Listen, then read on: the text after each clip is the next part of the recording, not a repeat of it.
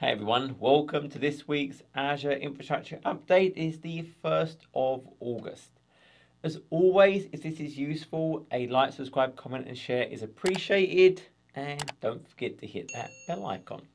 A couple of new videos this week. So Azure Firewall Premium went GA. So I've been waiting to create this content. So it's like an 85 minute deep dive into Azure Firewall both the standard features and the premium features. And I have a whole set of demos, especially around all of those new premium capabilities.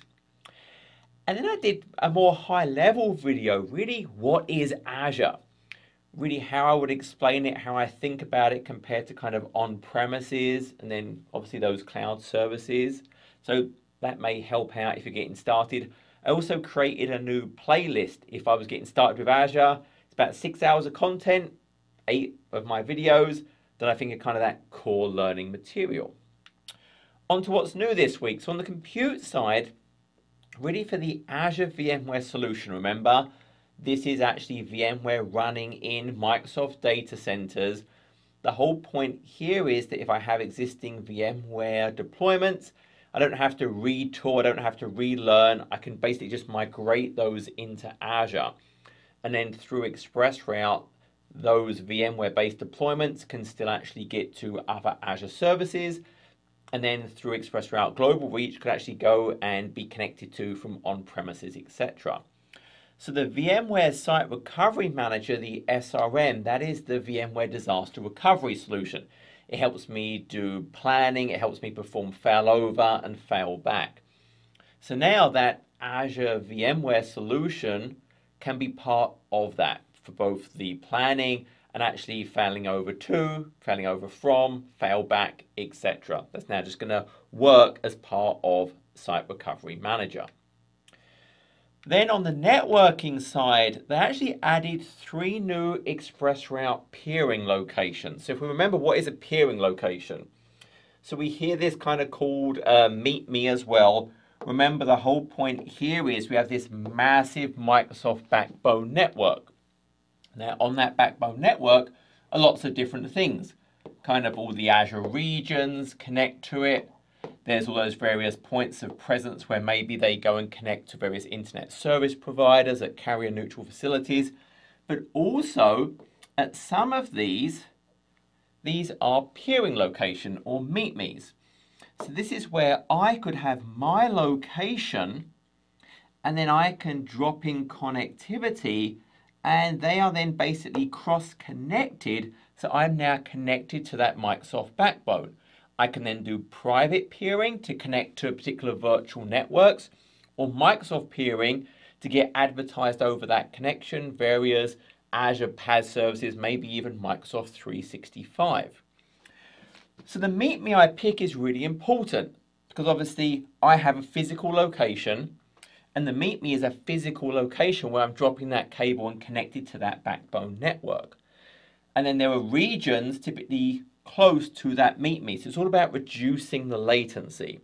So by adding new peering locations, these meet me's, it gives more opportunity now for me to maybe connect closer to my data centers and also maybe get closer to certain regions I actually want to use. So if we actually go and look at the peering locations we now have available, so this site kind of goes through and adds all of these. It has this whole great big list and basically we can see here, now we have this Campinas uh, added in Brazil South. We have a Dublin 2 has been added. Obviously, that's North Europe. And then also there is a Sao, Sao Paulo 2 in Brazil South as well.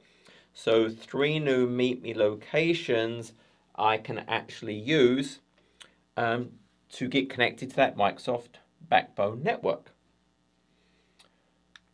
Next, on the storage side, a preview feature but now I can have immutable storage for blob versions.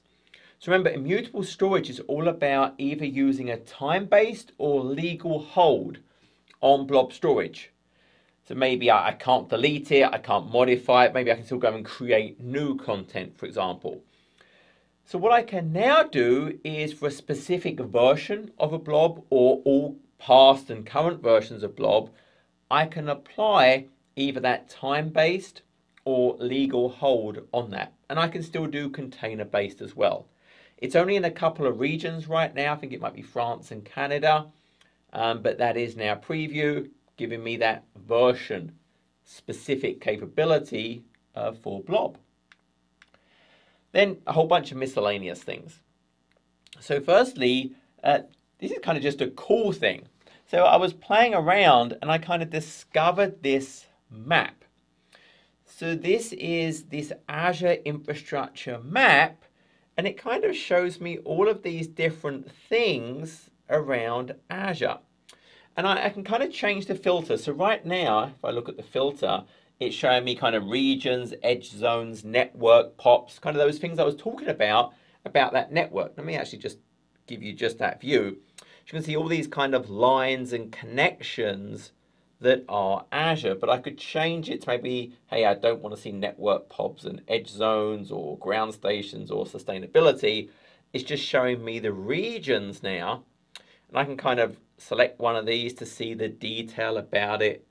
As you can kind of see here, I can still, if you look at the bottom left corner, there's still kind of the old map style view I can click, or I can go back to that nice kind of global view.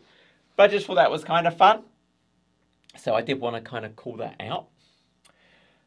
Azure Relay has added Azure Active Directory support. Now, Azure Relay is actually used by a number of services. Um, for example, app service plans use this to get that hybrid connectivity if I want my app service plan to be able to reach in and talk to things on premises, for example. So what it's actually doing, I have a service running on premises that establishes an outbound connection to the Azure Relay service that then allows a bidirectional socket to be created and then clients talk to the Azure Relay service out there in the public internet and then through that established socket it can go and talk to those backend services on my network. Now previously it used shared access signatures as really the way to control that access. But now I can actually use Azure AD role-based access control, so I have a lot more granularity about that. Um, Azure Virtual Desktop is now available in the China Sovereign Cloud. So remember, we always think about kind of the Azure Commercial Cloud, what most of us will use, but there are sovereign clouds as well. There's ones for like US Gov, um, there's the German Sovereign Cloud, and there's the China uh, Sovereign Cloud. So now Azure Virtual Desktop is available in preview in that China cloud. Start VM, again on Azure Virtual Desktop, has now gone GA. Now this is for both pooled, I have a whole bunch of virtual desktops that I'll just connect to one of them, whichever one is available, or personal, where I have a dedicated desktop just for me. Now, that start VM on Connect is available for both of those. If it's personal and it's turned off, it will start it when I connect my particular desktop. If it's pooled, it will start a new desktop if there are none available already running. So that is now a GA feature. And the Azure Site Recovery Update 56 went GA. This is really two changes. One, there was a performance improvement, I think it was 46%, when you enable replication, um, reprotect um, existing assets.